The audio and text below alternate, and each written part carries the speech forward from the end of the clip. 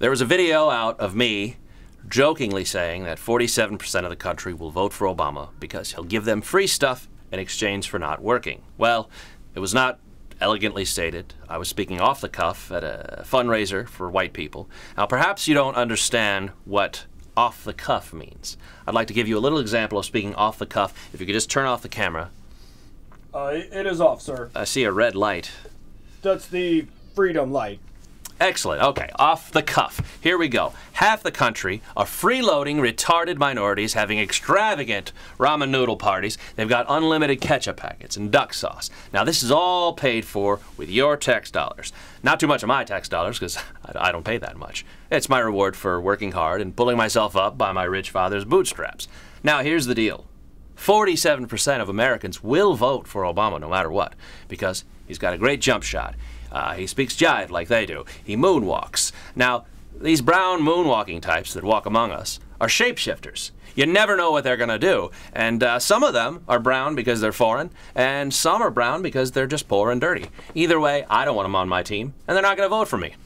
Okay, let's go back to on the cuff. Turn the camera on, please. Okay, ask me a question. What's your goal for America?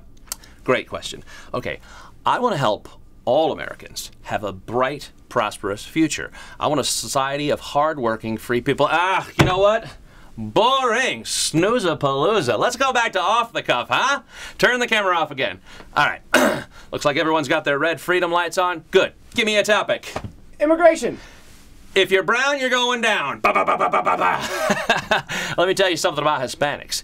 You can't feed them after midnight because they'll multiply and take over your town on Christmas Eve. Whew! Finally said it. Isn't that the plot of Gremlins? I don't know. I don't watch movies made by Jews, which is to say, I don't watch movies. Ah, off the cuff is so freeing. Off the cuff is the stuff. Off the cuff is the stuff. Okay, but let's get back to business. Turn the cameras back on. Next topic. On the cuff. What about your comments on the Israel Palestine conflict?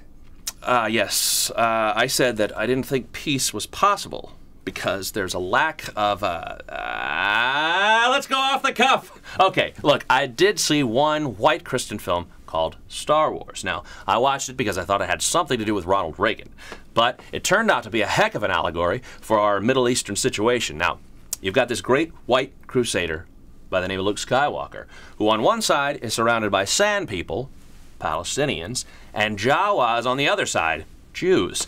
Now, sand people are there cooking their weird smelling food, hitting you with sticks if you go near their town. Well, the Jawas are busy trying to Jawa you down, overcharging you for sand speeders and a cut rate version of R2D2.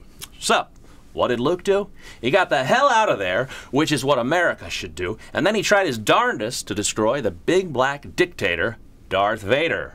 Remind you of anyone? You know, I wish this had have been on the cuff. Uh, we were filming, sir. Great. Well, now that we've cleaned that little misunderstanding up, I'm sure it's going to be smooth sailing all the way to the White House. It's going to be a Rocktober and a November to remember. Now, I'm going to the country club. Drinks are on me. Who's coming? Just kidding. It's for whites only. God bless America.